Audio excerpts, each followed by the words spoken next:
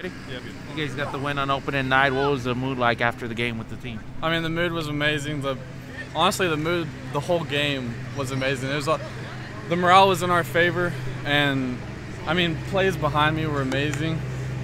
I mean, Cole McKay came in. Like we got the strike out and throw out. I mean, after that, we knew we were winning.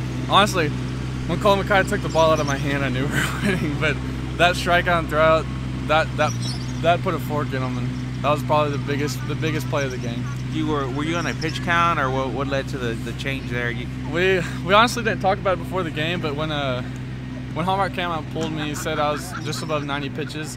I mean, first game of the season, you really don't want to stretch anyone that long. But I don't know. After the second inning, I kind of settled in.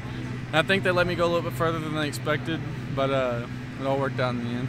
how did I mean one one hit? How does it feel to, to come out and do that in, in in the first start of the season? Oh, it, that's I don't know. I don't, I don't look at the scoreboard that much, but looking up there and see a one and then a bunch of zeros behind it, that's a really good feeling. And then guys coming in after you and not getting up a hit either, that's that gets me more excited than than uh, me throwing. But that's just me. You mentioned some of the defensive plays.